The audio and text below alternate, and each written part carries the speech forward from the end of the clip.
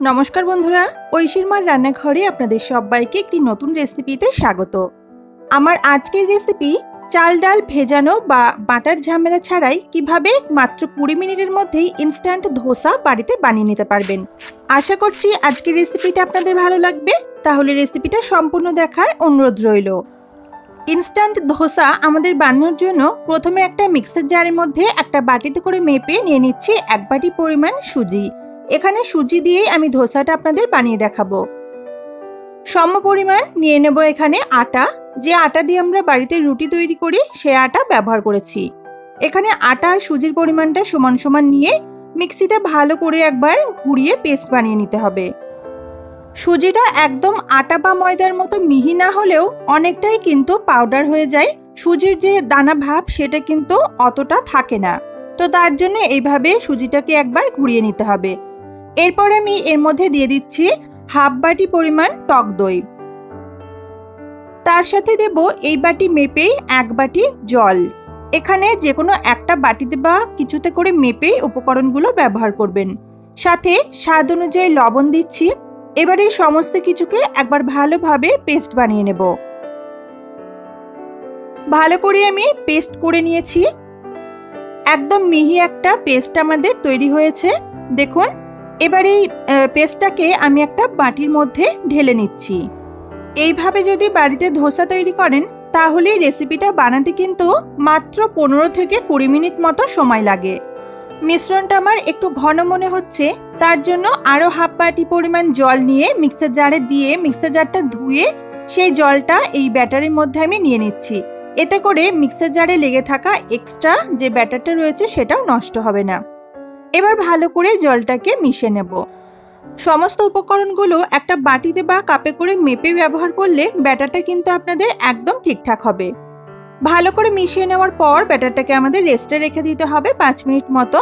তাতে করে যে সুজিটা ব্যবহার করেছি সেটা ফুলে গিয়ে ব্যাটারটি কিন্তু একদম ঠিকঠাকভাবে তৈরি হবে। দেখুন, এখন এরকম একটু পাতলা রয়েছে। পাঁচ মিনিট রেস্টে রাখার পর ব্যাটারটি কিন্তু আরও খানিকটা ঘন হয়ে যাবে। আমি পাঁচ মিনিট পর আপনাদেরকে ব্যাটারটা দেখাচ্ছি। দেখুন, আগের থেকে কিন্তু অনেকটাই ঘন হয়ে গেছে। এবার ভালো করে আরও একবার আমি মিশিয়ে নিলাম।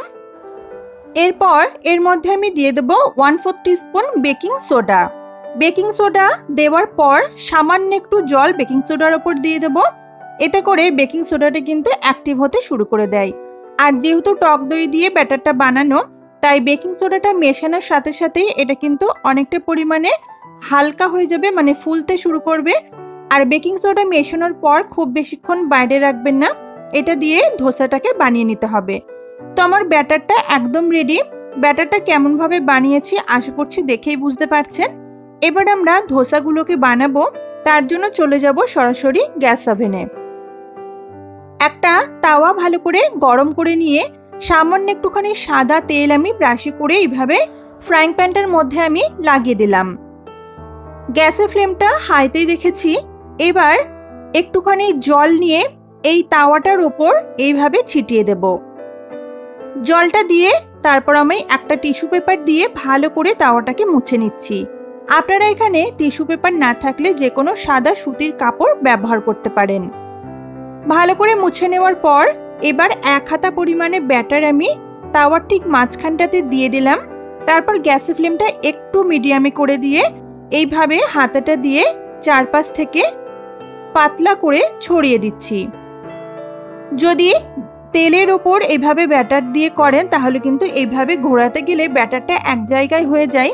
সেক্ষেত্রে জল দিয়ে টিস্যু পেপার বা কাপড় দিয়ে তাওয়াটা মুছে নিলে কিন্তু সেই প্রসেসটা ভালোভাবে করা যায়। যখন দেখবেন ওপর থেকে এরকম শুকনো হয়ে গেছে, তখন ব্রাশে করে আবার একটু সাদা তেল আমি ওপর থেকে এইভাবে লাগিয়ে দিচ্ছি।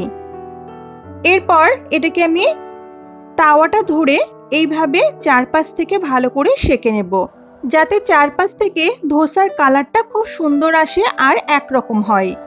এরপর যখন দেখবেন ওপর থেকে বোঝা যাচ্ছে নিচের কালারটা চেঞ্জ হয়ে গেছে, এটা আপনারা দেখলেই বুঝতে পারবেন। তো তখন এইভাবে করে খুন্তি দিয়ে ধোসাটাকে আমাদের রোল করে নিতে হবে। দেখুন খুব সহজেই উঠে গেল। এখানে দুটো চামচ বা স্প্যাচুলা খুন্তি আপনারা ব্যবহার করবেন যাতে সহজেই এটাকে রোল করে নেওয়া যায়। আর রোল করে নেওয়ার সময় কিন্তু এটা ভেঙেও যাচ্ছে না। আশা করছি সেটা দেখেই বুঝতে পারছেন। কালারটাও দারুণ সুন্দর এসেছে। এবার এই ধোসাটাকে আমি একটা প্লেটের মধ্যে উঠে নিচ্ছি। এই ধোসাগুলো কিন্তু অনেকক্ষণ পর্যন্ত মুচমুচে থাকে। এইভাবে করে কিন্তু আমি বাকি সমস্ত ধোসাগুলোই তৈরি করে নেব। আপনাদেরকে আরও একটা ধোসা তৈরি করে আমি দেখিয়ে দিচ্ছি। একই প্রসেসে প্রথমে একটুখানি সাদা তেল ব্রাশ করে নিয়ে কিছুটা জল ছিটিয়ে দিয়ে একটা টিস্যু পেপার দিয়ে মুছে নিলাম। এরপর এক হাতা ব্যাটার দিয়ে গ্যাসের ফ্লেমটা মিডিয়ামে করে দিয়ে এইভাবে হাতাটা ঘুরিয়ে একটু ব্যাটারটাকে চারপাশে ছড়িয়ে দিলাম। এরপর ওপর থেকে ড্রাই হয়ে যাওয়া পর্যন্ত অপেক্ষা করার পর ওপর থেকে হালকা করে একটু সাদা তেল ব্রাশ করে দেব। তারপর এইভাবে তাওটাকে ঘুরিয়ে ঘুরিয়ে একটু সেকে নেব। এরপর নিচ থেকে কালার আসলে তারপর এটাকে আমি রোল করে নিচ্ছি। আমি যে পরিমাণ ব্যাটার তৈরি করেছিলাম, তাতে করে আমার নটা এরকম ধোসা তৈরি হয়েছে।